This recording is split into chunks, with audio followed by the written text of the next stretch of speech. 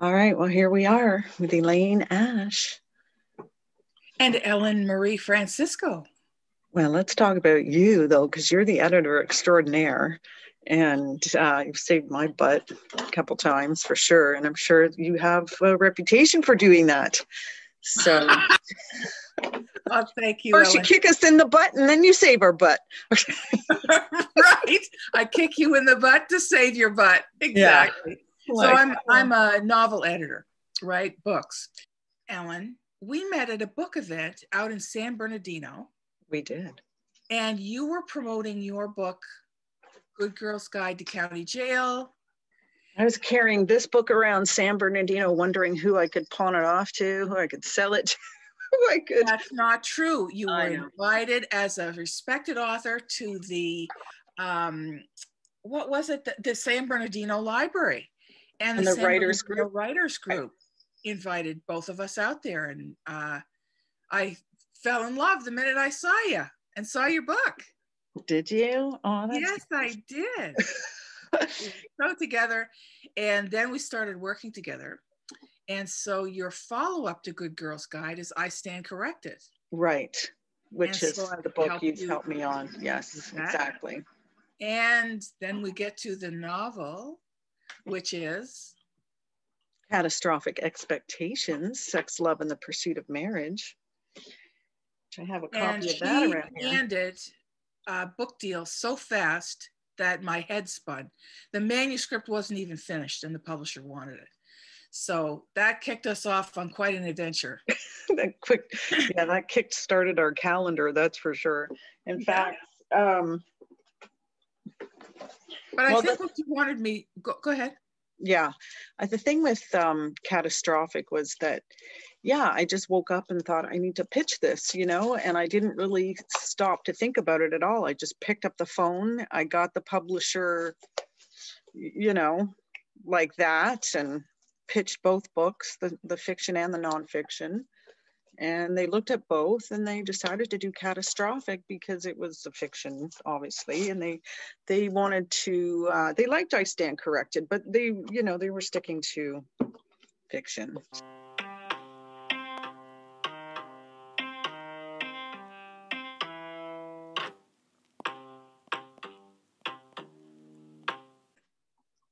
The thing about that book and the thing about ellen's writing is always her voice and to preserve that voice. And I'm, you know, once you get to know me, you realize that I, I love copy editors. We need copy editors, but we also have to push back a little sometimes when they try to edit out a particular voice. You know, and Ellen has a very distinctive writing voice that needed kid gloves to preserve it and not to mess it up. You know what? And that is a really true point because it was the first time I'd ever worked with a copy editor and I mm-hmm. had assumptions going in. I just assumed that it would go a certain way. And it did. I, I got a lot of emails asking me to take out some of the funniest parts in the book and some of the parts that I thought were the truest indication of who the character was at her core. So it was, and and what was really stressful. I mean, I think it would have been five times more stressful if I didn't have you, you know, in my ear. Well, exactly. I was I was on the the receiving end of these phone calls. Help! What do you think of this change? What should I do? And see, I've been to this rodeo many times, and I know how to coach a writer through it. Um, because you don't want to fight with your publisher and your copy editor. Never. You want to keep them friends, but you also need to preserve your voice because if you lose that, there's your writing career. And you're just one book to them, mm-hmm. but this is your career and you need to stand up for yourself when it's necessary. Yeah, yeah, yeah, it's true. So, and thank i mean thankfully the the whole process is designed so that the author can decide whether to accept changes or not but but there was a lot of pressure for it. So yeah you definitely helped me um, kind of build a backbone so that I, I didn't cave so easily you know because i think if if i had just heard their perspective of what needed to happen and not yours as well, then I would have been um, easily overpowered. I would have kind of gone along. I would have succumbed, you know, or something. I think dreadful would have happened. well, all's all's well that ends well. We made it through, and I've made it through with many writers. You know, I've had um, peculiar, quirky little manuscripts with great voices come back rewritten by overzealous copy editors. And uh, I'm well suited to fighting those battles. Uh, knowing how to how to parse it and and letting the writer describe why my voice is is is correct and why it's grammatically correct, even though it may have um, quirks in the dialogue or a twist of phrase or whatever. You know, modern commercial novels do not have to be by the high school English paper, you know, they're what evokes emotion and gets readers excited and intrigued.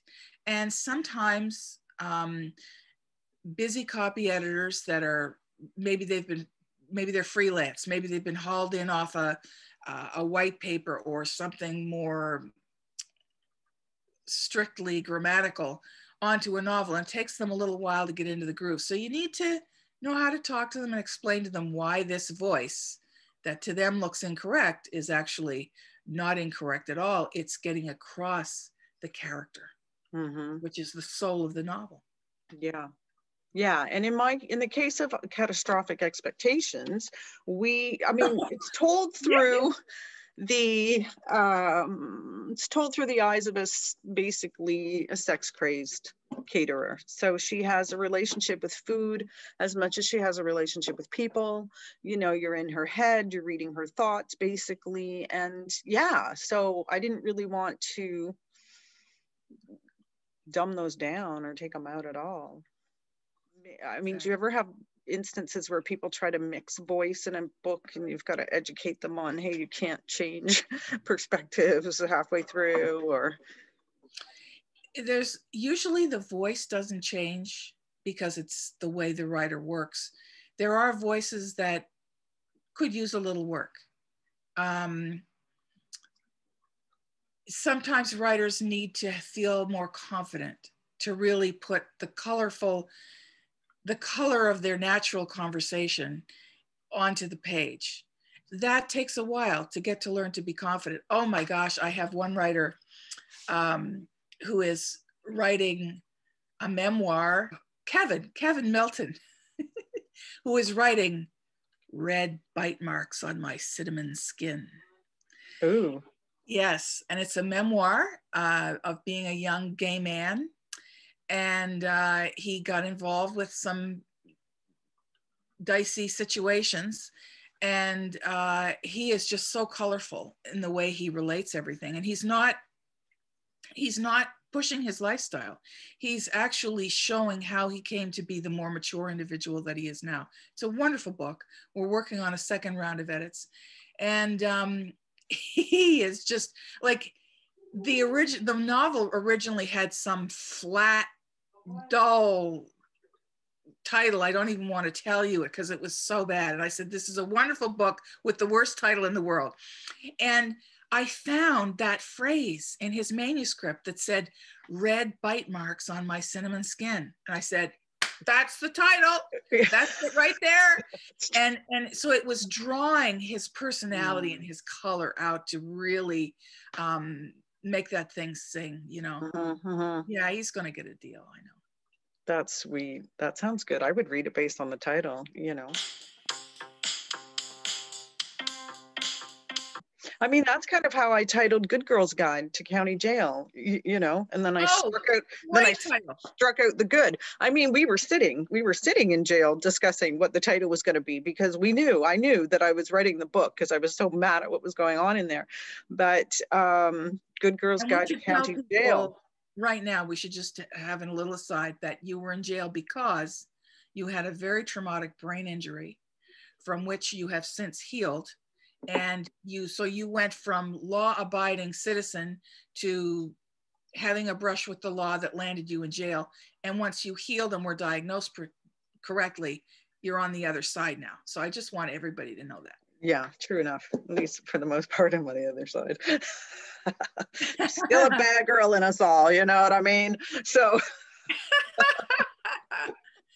but that book, uh, Good Girl's Guide to County Jail, uh, is a guide to if you have a brush with the law. It's, there's millions of women that need to read that book. Well, it's it's also just a little, yeah. I mean, I wrote it with the idea that I was taking you by the hand and I was walking you through everything from a warrant all the way through to God forbid whatever your you know preliminary hearings were and your trials hopefully not and then yes definitely your release you know.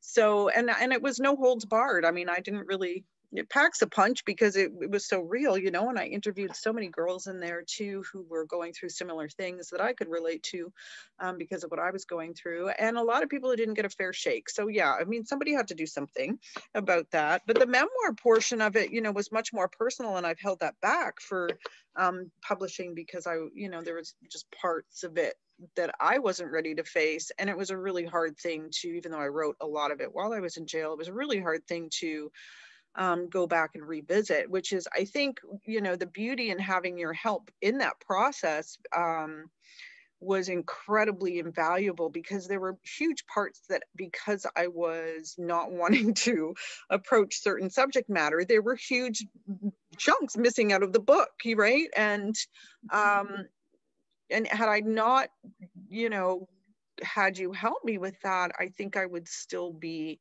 I think I would be selling the wrong product, you know, and I think I would be trying to publish the wrong the wrong work. And um and you that's, know, that's a recurring thing that personal challenge just for you is that Ellen is writing such unique material that she can get in the middle of a manuscript and say, you know what, I think I'm headed in the wrong direction. I'm not sure the book that I'm writing here. And that does happen to pioneers. I'm a pioneer in my bestseller metrics, so I know this process of finding your way, feeling your way forward. And that's a that's a perfectly okay thing to do. You know, yeah. to feel your way through a manuscript and to get lost and to need help getting back on the right track. Mm-hmm. Um, it really shows that you are committed to making that book be honest. Mm-hmm. And there was a point too where i think i think this happens with every writer where you're so far into the work you cannot see it. It's the forest for the trees dilemma. So it, it, was good it's always good to have that exterior voice who's got the fresh perspective who doesn't who isn't invested in it like you are but is more neutral as a result and can give you um, you know, really good direction on where where it needs to go and where the focus is. Because I think that you know, I mean, that's what you did, right? Like you went through the whole thing. You're like, hey, you're missing, you're missing all this stuff about your your private life and what was going on day to day. You know, you're only talking about the problem here. Round it out a little bit. So, you know, that yeah, was good. I wanted to know, hey, what's doing with your family while you're in jail?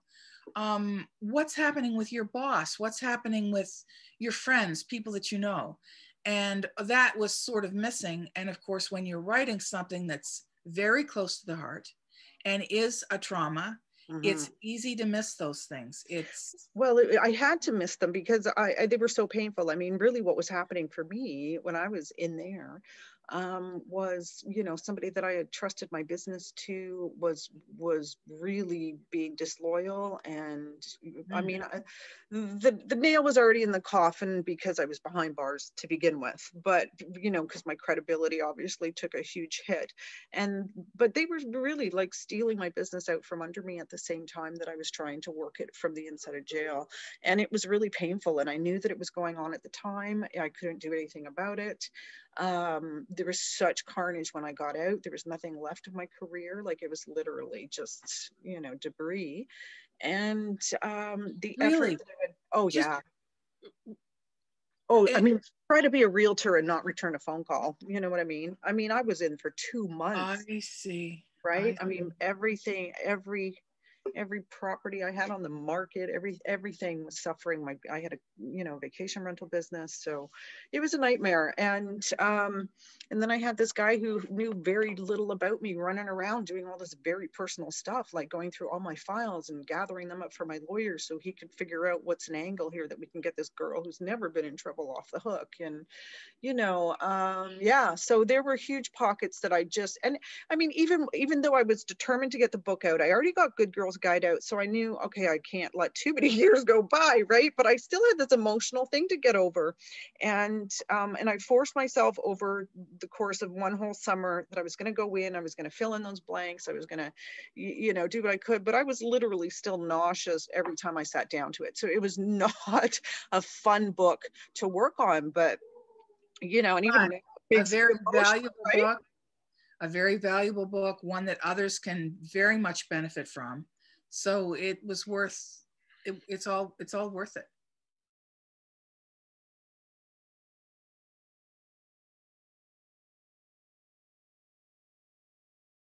And let's talk about some guidelines for taking feedback and changes because boy, do I have some anecdotes on that one. Mm-hmm.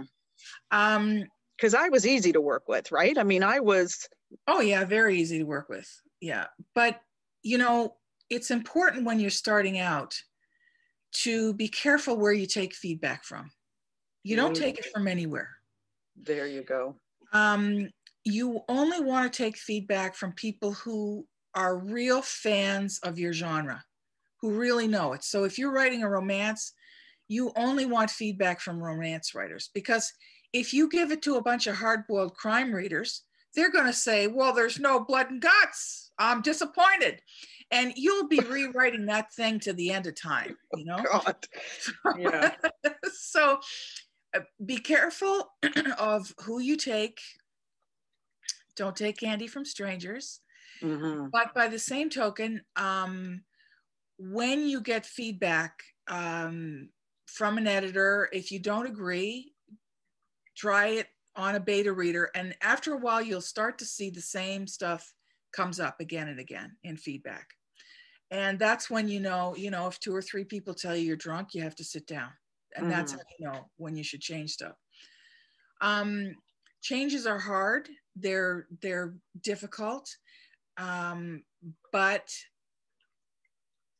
you know this the, this attitude of every word is sacred it does certain people do feel that way and um, and we know it's not and they end up self-published and they sell three copies.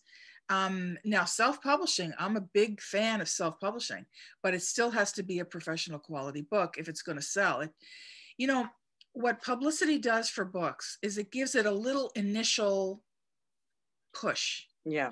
But if people aren't crazy about that book and start to talk about it it goes nowhere. And a lot of people don't understand that all entertainment, films and books and all this kind of stuff are sold by word of mouth. Mm-hmm. They do have commercials and they do have publicity. But if people aren't talking about it, saying, wow, all of this novel catastrophic expectations, it's so funny and the voice is so great. Um, if people aren't saying that, it it won't take off no matter how good the commercials are. Mm-hmm. And I can tell who's going to sell with you know that is something i can tell from when i look at a manuscript. I mean it's no mistake that this publisher jumped on the manuscript of catastrophic expectations right away. There's no there's no uh, doubt in my mind of why he did that. And then our uh, our challenge was to really make sure that everything was on the page that needed to be there and you had a few too many characters in the beginning i if i recall mm-hmm. we had to mm-hmm. whittle a few people out of there mm-hmm. uh, because there was just too many people to under to to figure out and there were a few there were instances where some of the character names were too similar like there were little things you know where yes. where yes, when you're working on the story and you're getting all the little details in you don't pay too too too much attention to but when the problems get ironed out and you start doing those read throughs with fewer problems then the few that are left become very loud problems you know? And and you you caught a lot of i mean yeah maybe talk about what you thought was you know what it needed. I mean you saw it you saw it after it was already sold and i was waiting to get the editorial notes. So you and i were scrambling to oh my god let's see what we need to do to this thing before it's too late yeah, well, you were. Um, oh God, pressure was on. they wanted to publish it so fast, right? Like who does? Like I yeah. mean, that was just uncanny. It was just unheard of, right? No agent, a direct phone call. It was like, okay, let's do this. Everything you don't do. That that's right. Is what what happened. But uh, one thing that I noticed was we were in Los Angeles. We were in a certain time period, and uh, the, there were some visuals that were lacking. So you had this wonderful little catering truck that was covered with uh, lipstick Lip kisses, was yep. it? Um, and because her catering company is called Lip Service in the book. And uh, I wanted uh, a wide shot, to use a cinematic term, a film term. I wanted a wide shot of that little truck trundling down the, the PCH, PCH, the, you know? the Coast Highway in California on her way yeah. to a, a catering gig. And I wanted a wide shot of that. So you understood what the wide shot, the the concept of the wide shot. And I am con- I am always finding that in manuscripts. It's wonderful to start a chapter, some chapters, with a wide shot. Set the scene, describe where we are, the mm-hmm. setting. You know, in films, they have what they call the wide shot, which you'll see the whole beach, all the palm trees, the truck, everything. Right. Then they'll go into the close ups. Right. But we never forget where these characters are. They're standing on the beach beside this mm-hmm, mm-hmm. little truck. Right. And, uh, you know, a novel is a movie in the mind. Mm-hmm. Everything is in the words. If it's not on the page, the reader doesn't see it. And so that's something that I often have to do um, because writers are seeing this movie as they write in their own minds. And they are often not aware that a lot of that description has not made it onto the page. Well, those wide shots were needed at the beginning of the book, and I was doing very, very, um, you know, in like internalized scenes, you know, where you were right in it because she was intimate and she wanted to get into everything, you know. So, so that was a good thing too, and it also, and it was cute because it wasn't like you said, "Oh, I need you to do this, this, and this." You just said, "Give me, give me a wider shot, give me a little bit of what a world looks like," and then I could work with what was already on the page, what I wanted you to know about the character, you know, and I made it like, okay, suddenly there was a bumper sticker and it was like honk if you love whatever. I can't even remember what it was. I put something in, you know, even that wide shot gave more of a view to what kind of a character she is, you know, what she's like on the road, you know, she's like waving at people and blowing kisses, you know, and stuff like that. Yes. So yeah, so it, very cute. Uh-huh. Would have liked more time in development, right? Like, uh, uh I mean, I'll never do that again. Well, like for sure. Telling you how not to. Uh-huh. not to land a book deal. Right. The book hasn't been edited. It's really not ready. You send the manuscript. Of course, the thing is, she picked up the phone and the publisher uh, got on the phone and insisted that she send the manuscript now. Then I get a call from Ellen. Well, what am I supposed to do? I said, You can't keep him waiting. You've got to send it off and tell him that we're working on it. And so that's what you did. Yeah. And the contract, you know, came seven days later.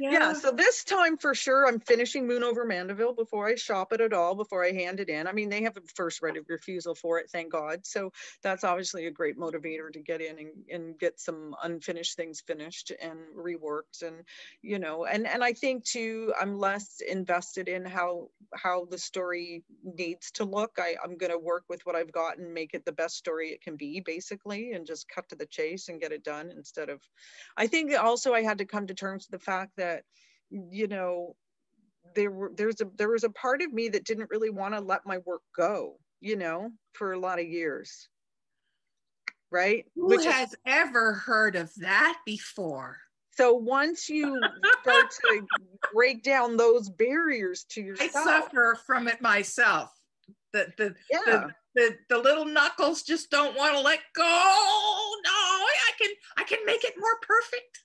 And I like to start things, you know, I like to start things. I don't really like to end them. I don't like endings and, and sad goodbyes and things like that. So why not string a bunch of characters around for 30 years and just let them drop wherever they land, you know? So when I'm Now, done now, I have to tell you, I have never had an editor because you know I write under a pen name. I write crime under a pen name, I, Anonymous Nine. I have never sold or had anything acquired that the editor didn't have to say, "It's time to step away from the manuscript, Elaine." wow. And they have to lead me away. Right. And you know what? What was nice about going through the editorial process with the publisher as well as you was, you know, I had two very determined professionals being very diplomatic in their approach, you know, not with kit gloves. I mean, because I, I was approachable, but I mean, I, you guys had to make sure that I got out of my way in order for the story to be told. And the process was brilliant because, you know, there were things that you noticed and that she noticed. And we're back to, you know, when more than one person calls out some flaws, they're flaws. They're not, you know, things to, to skim over. So it was a really valuable, valuable experience to have both, you know, contingencies working. And uh, what else was there in that process that I thought was interesting? Um, but she had, she had done the same thing. She was like, you know, basically anything that isn't driving the story forward needs to not be in it anymore. And there wasn't too much that we had to take out, but there were, you know, It was pretty streamlined. Yeah.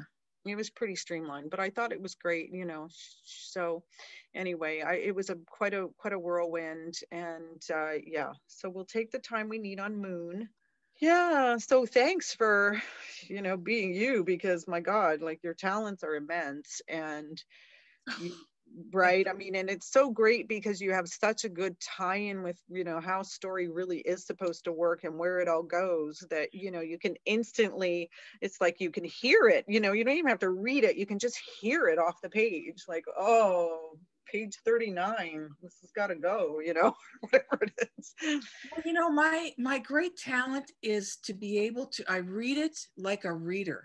I know what the readers are thinking and I know how fast or slow in the inf- the thing has to go in order for them to really get it and understand it. Because you know the kiss of death is when people put down a manuscript after 10 pages and say well i can't really follow it. I'm a little confused. I'm not really sure about what's going on. You know th- those are the things you when you hear that you know that there is something uh, wrong not with the information and not with the story but with the way that you're relaying the Mhm. information. Sometimes it's out of order. So, all right. Well anything else you want to see thrilled to be with you. Okay. Excellent